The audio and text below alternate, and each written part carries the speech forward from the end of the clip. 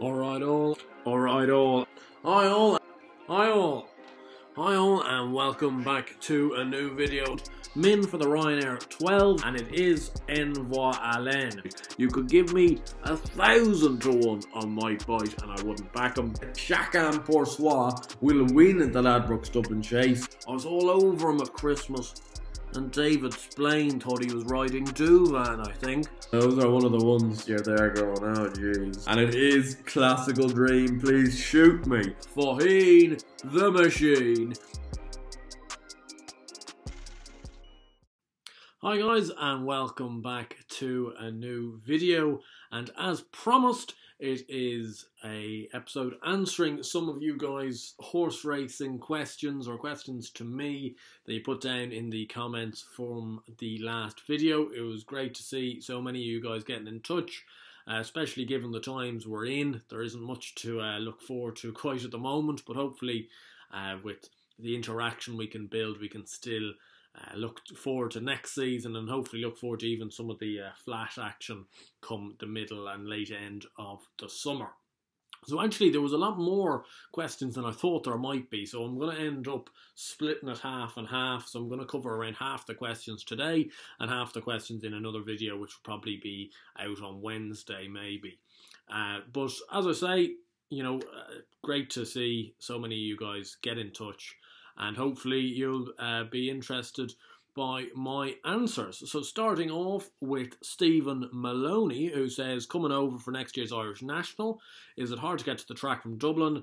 And what is the best horse you have ever seen live? And then just a question about Tiger Roll. Hopefully I might have the questions written out here on the screen or like a little kind of screen grab of the comment and stuff like that.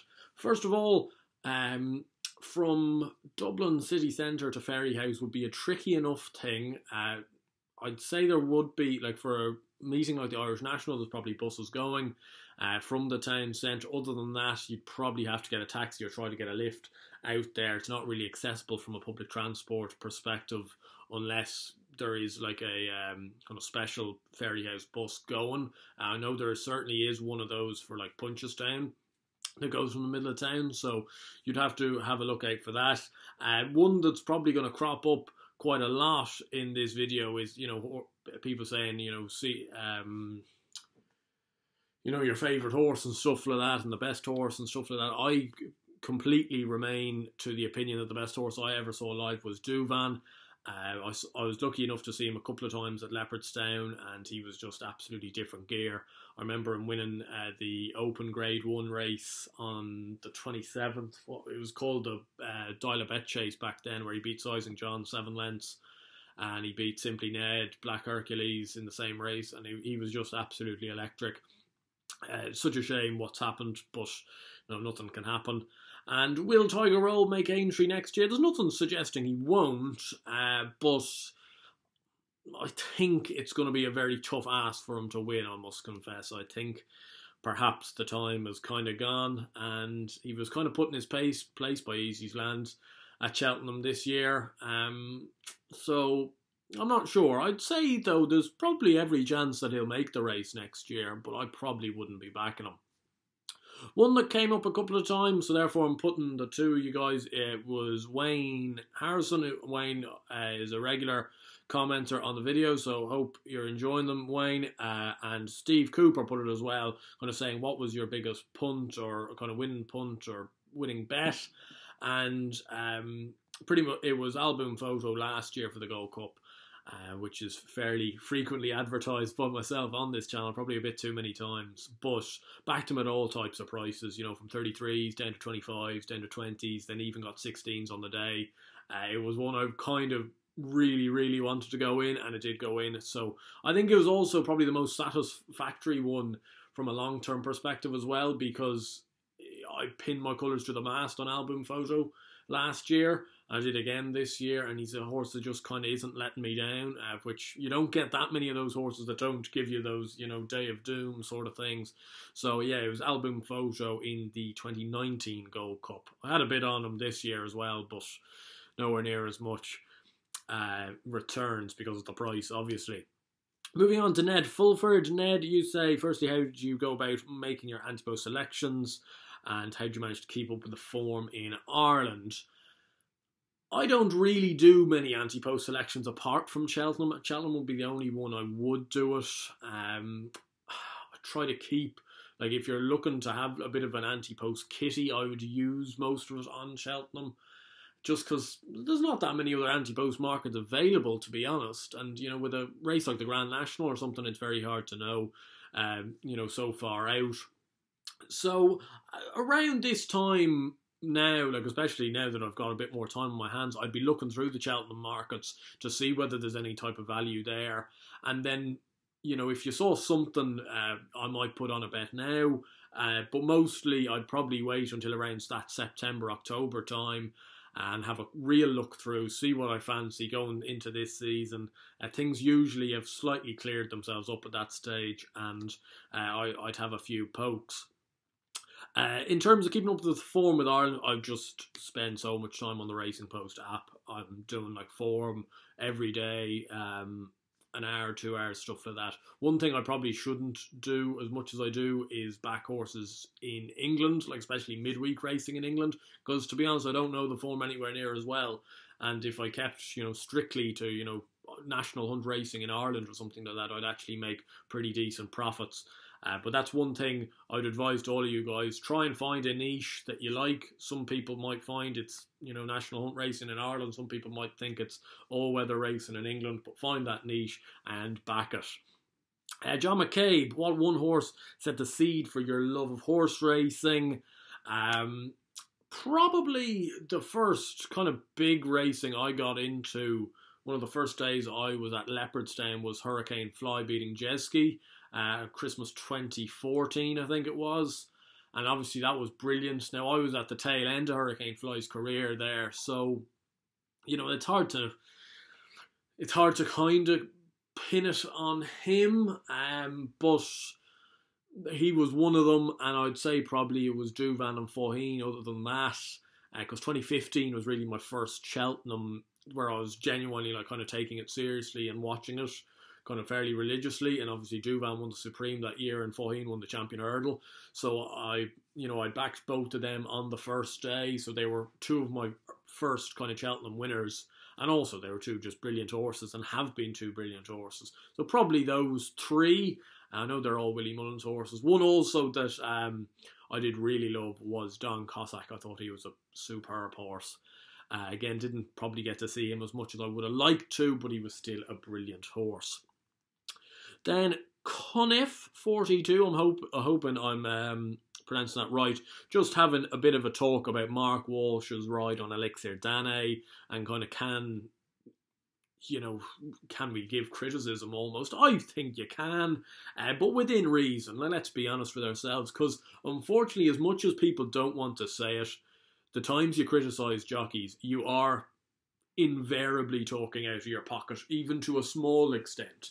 Um, because I remember I went mad at Ryan Moore once at Leopardstown one year on uh, the Champions Weekend, and he got a horse called Sir John Lavery beat in the Boomerang Stakes, and I was absolutely furious with him. I couldn't believe what he'd done and stuff like that. Um, I think you're allowed to have a little bit of a blow in terms of that ride itself. It's hard to know, like with the position he managed to get himself into, he actually would have taken an awful lot of energy to kind of go back and then kind of go behind Asterion Forlonge. So, yes, I know in hindsight it looks stupid that he comes up on his outside, your man's jumping to his right uh, so much as he was, especially coming down the hill. Uh, but the mistake he makes to fall is actually an independent mistake. Now, it's probably based on the fact that he was kind of worried about the other horse, but it wasn't like he was kind of brought down. He does make an independent mistake. Uh, so, uh, hindsight's kind of a good one on that, but I think he was trying to do the right thing in terms of bringing the horse forward. That was probably the best chance the horse had of, you know, getting close in the race, was making that move. Uh, so I'd be prepared to let that one go. And I don't like you can criticize a jockey every now and then, but I would keep it minimal to be honest. I don't think they need it, and I don't think it's particularly necessary. Audrin Hobbs, again, hopefully pronouncing every name correctly. If I'm not, I'm really sorry. Uh, when should we start anti-post betting for Cheltenham and other big meetings? Uh, I would just be concerned, not not concerned, but I'd just be wary for some people. Like obviously, if you see a good bet at the moment, do back it. I don't mind that. But just at the moment, considering we've nothing to do and we've nothing to bet on, don't bet too much on Cheltenham right now. I don't think. Uh, just wait and you know let let it all ease out. As I say, I'd probably be having my main uh, pokes anti-post in around September October time. Toby Foster says, in your lifetime, who's the best three mile chaser never to win a Gold Cup? Um, probably there's better horses in my overall lifetime, but I kind of saw this question as one, you know, of at the you know the times that I've been watching racing. Um, who's the best three milers not to win a Gold Cup? So that's been like since 2014 to now, and I'd say probably on the balance of probabilities, it was Cue Card and Djakadam. Uh, Djakadam was obviously desperately unlucky um, not to win a Gold Cup one of the years, and Cue Card obviously fell when he was in with a massive chance. Uh, in his year when he was going for the bonus point on Cossack and Djakadam in the end as well. Uh, so probably in my lifetime there's been better horses that haven't won a Gold Cup, but those two always strike my hand um, in terms of that kind of category, in terms of being maybe a little bit unlucky not to have won one. Sean Anderson uh, says um, his favourite horse is Many Clouds, who was my favourite horse of all time. Uh, it was, it is slash was Douvan. Uh, I did absolutely love Don Cossack and I love Vautour as well. Uh, if we're talking about some of those really classy horses. And then I do like, um, I'm a big Paul Nolan fan, so a few of his horses at the moment, you know, latest exhibition and Discorama and stuff like that. I suppose at like a lower level, they're horses that always seem to, you know, try their hardest for me and always seem to run well. Kubo67 put in this big list of horses and want kind of was trying to predict which ones go for which. I would agree with a fair few of them. I think MYLN will end up in the Marsh. Appreciated will end up in the Ballymore. Benie Des Dieux, I think, will still be in the Mares next year, which is a shame, but I think it's probably the truth. Abacadabras will go to the Champion Hurdle. Champ will go to the Gold Cup. Samcro will go to the Ryanair. Faugheen, I'd say, more than likely will be retired. Uh, and if he does go to Cheltenham, it'll be the Ryanair. And I think Honeysuckle will go novice chasing. I think she'll end up in the Marsh or the RSA that's probably the one that I'd uh, slightly disagree in you there. I think a lot of people think she's going to go back to the mare's hurdle, but she jumps like a chaser, and it would be very interesting seeing her chasing against Geldings actually next year, if that was to happen. Uh, Darren Tabner asks me about flat racing and speed figures, and I would love to come back to you, Darren, with an actual answer here. But speed figures on the flat, like I've no idea. I genuinely have no idea which is probably poor. I should know. Um, I'm more of a visual man. Um, like you can get caught up on stats. There was obviously that uh, whole visionary incident last summer where he put up this brilliant time figure and he ended up being a bust. Sometimes kind of times can be useful. Sometimes they can be overlooked, like they can be almost overrated as a way to uh, try to find winners and stuff like that. Personally, I'd be more of a visual man than uh, taking the times myself. But I'm sure there's probably plenty of people. I think Andy Holding, um, the odds checker, kind of their main tipster. He's a big speed ratings guy and stuff like that. I think he's got stuff up online, you know, explaining his methods and stuff like that, which is very interesting. Racing commentator, name the horse racing victory that made you cheer the loudest. His was a horse called Prohibit in the King's Stand uh, for anti-post reasons, and again probably for anti-post reasons as well. Al Boum Photo in 2019's Gold Cup has to be up there. In terms of being actually on the track, it would probably be Faugheen in this year's Flogas Novices Chase. Uh, as probably was the case with an awful lot of people, it was some sight uh, seeing him jump the last in front, and everyone went berserk. Um, that would probably be the one from on track and off track. It was Al Boum Photo uh, last year where I was up in my attic, kind of giving it large and shouting out the windows, all of that. James Monaghan, how did you get into racing? Pretty simple. My dad used to watch a lot of racing when he was my age. Uh, he kind of then went didn't go it, but just didn't get to go to it that much. And then when I got to kind of around 15, 16, uh, which was 2014, no, wasn't 15 or 16 then. Uh, I was 14, 15 then. Um, yeah, Leopardstown is only around 10 minutes walk down the road from us. Uh, we decided to go one of the Christmases. I immediately caught the bug. He caught the bug again. And we go to racing an awful lot. We probably go once every two weeks and go to a lot of the big festivals. Like I go all four days over Christmas. We go to the Dublin Racing Festival. We go to all the big days, you know, Hatton's Grace, John Durkan, and all of them. Um, it's good kind of, I suppose, father son bonding time and stuff like that. But that was really how it happened. It kind of came from him. Jason Gorman, how good could Malone Road be? Um, he looked like a bit of a monster back when he was a bumper horse. I'd say if he manages to get back to the track, all being well, I think he still could be an excellent horse. I'm not sure though, and maybe these injuries have taken something out of him. And you'd have to be looking more maybe at Envoi Allen and Ballyadam as being kind of the Cheveley Park main ones uh, from Gordon's stable. I know there's the likes of Ferny Hollow and A Plus who are very good horses as well. Mark Perry, uh, favourite sports other than racing, teams you follow, and favourite players. Uh, as you can probably tell, I play a lot of cricket and watch a lot of cricket. Uh, I watch uh, a fair bit of county cricket. I'm a Worcestershire fan. Uh, a lot of people, though, watching this won't be watching cricket, so they mightn't probably know what I'm talking about there. And I'm a big football fan, so I have three teams I support. One over here in Ireland, Shamrock Rovers, which would probably be my main team, and then two over in England. I'm a Villa fan uh, from family connections, and I'm also a York City fan, which is because we've been to York a fair few times as a family. Uh, kind of again family connections, I suppose. So I know a lot of people only support the one club. I support the three, but they're never going to face each other. You know, a League of Ireland club, a Premier League slash Championship club, probably in a in a couple of minutes' time, and a Vanarama North club. Uh, they're not usually facing against each other. But those are my three football teams, and Worcestershire, and I suppose obviously Irish cricket uh, for cricket. Mikey O'Reilly, uh, he's actually from the cricket. Uh, my drink of choice is a pint of Guinness, always. Uh, no questions asked. Uh, Steve 71, was there ever a bet you couldn't see getting beat, but it got turned over? And do I have a system for betting? In terms of a system for betting, not particularly. I'm a big form man. Uh, I do like proven form in the book, especially um, for you know bigger racing.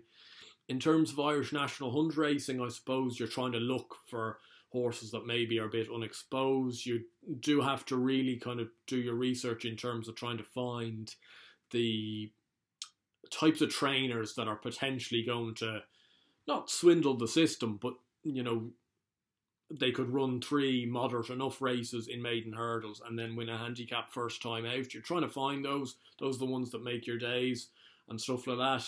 Uh, but yeah, no, mostly just uh, a lot of kind of form analysis.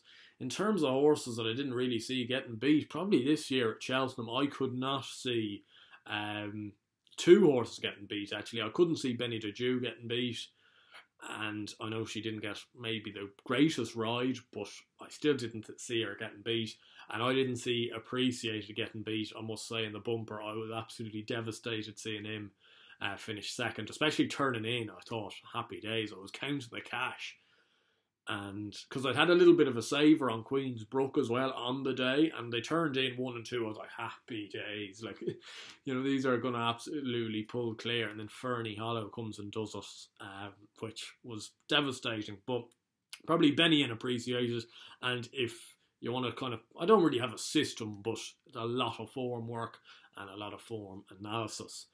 And the last question for today's video, as I say, if I haven't done your question today, they will be up on Wednesday. Uh, but Charlie Emerson with top picks for Cheltenham 2021, and I will give you three that I think will run well and are just a bit overpriced. I think Simply The Betts for the Ryanair, I think he'll go that route and has a big chance.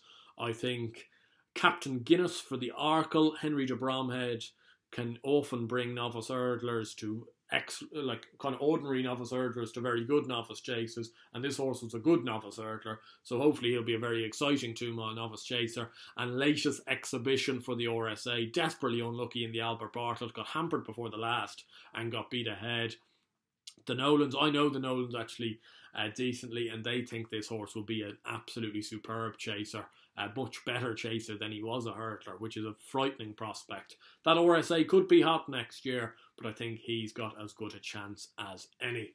So hopefully you guys did enjoy this video and if I did answer your question I hopefully gave you an adequate answer and one that you wanted to hear. Uh, if you did enjoy the video please do give it a like and subscribe to the channel down below as we try to keep interaction going in these times of adversity and of course as I said before, if I haven't mentioned your question yet, it will be on the video later in the week. So until then, hope you guys stay lucky, stay safe, and I'll see you on Wednesday or Thursday. Cheers.